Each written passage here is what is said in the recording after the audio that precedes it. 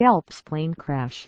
Memorial service held in Cologne. Emotional tributes have been paid to the victims of last month's Alps plane crash at memorial service in Germany. Some 500 relatives of the dead were among the 1,400-strong congregation at Cologne Cathedral.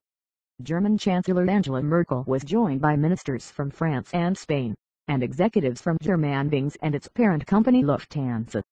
Co-pilot Andreas Lubitz is accused of deliberately flying the plane into the French Alps killing all 150 on board. The two-hour service included tributes from relatives, dignitaries and members of the emergency services. German President Joachim Gauck told the congregation that the country was still in enormous shock. We face not only sadness and pain but also the horror of peering into the abyss inside the human soul, even inside our human existence itself, Mr. Gauck said. The sister of one of the victims, named only as Sarah, told mourners, let love be stronger than the desperation in the midst of sorrow. Not for us to judge organizers placed 150 candles inside the church, one for every person who died, including Lubitz.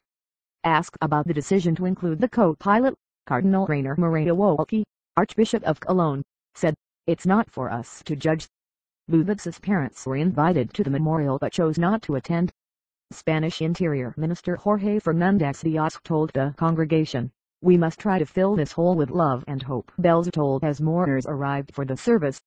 Flags flew at half-mast across Germany, and large screens were erected for crowds gathered outside.